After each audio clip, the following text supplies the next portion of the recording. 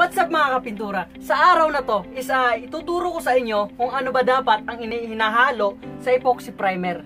So, kung gusto nyo matuto tungkol dito, ah, panoorin nyo to hanggang matapos.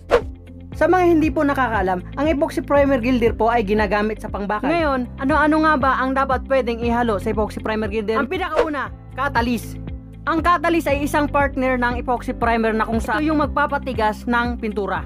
Ngayon, ano-ano nga bang thinner ang dapat ihalo sa pintura? Pwedeng lacquer thinner.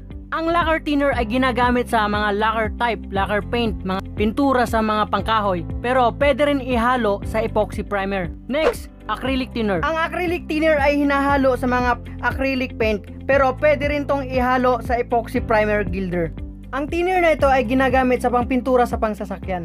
Next natin, ang pinaka-special sa lahat ay urethane thinner. Ang urethane thinner isa din sa mga hinahalo sa pangpintura sa sasakyan. At pwedeng pwede ito ihalo sa epoxy primer gilder. Ang problema nga lang, medyo mahal. Ang pinaka-last ay ah, epoxy reducer. Ang epoxy reducer ay hinahalo sa mga epoxy enamel at epoxy primer. At ang lahat ng yan ay pwede ihalo sa epoxy primer. Paalala, Huwag na huwag mong hahaluan ng paint thinner at tubig ang epoxy primer mo.